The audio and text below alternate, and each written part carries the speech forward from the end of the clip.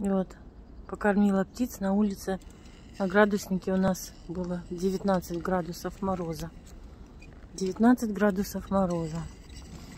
Пока мы были на новогодних каникулах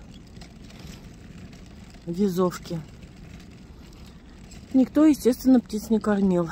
Все кормушки в школьном дворе и на улице все были абсолютно пустые, бедные птицы. Единственное, что вот, вот в том доме живет э, ну, инвалид, молодой, лет 40 ему, наверное. Ну, может быть, 40 с небольшим. Правда, наверное, он пенсию не получает, по рассказам тоже одной волонтерши бабушки, которая подкармливает птиц и кошек местных. Вот.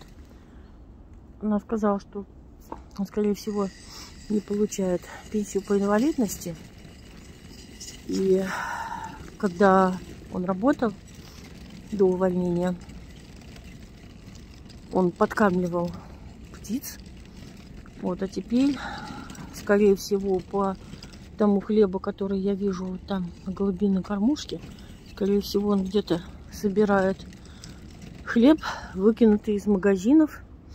Разный хлеб, вот, выкинутый из магазинов на мусорку, просрочку, и подкармливает голубей. Ну, естественно, на таком морозе хлеб замерзает быстро. И голубям он безразличен. Его утаскивают постепенно вороны. Я видела, как ворона прилетает, берет кусок и улетает.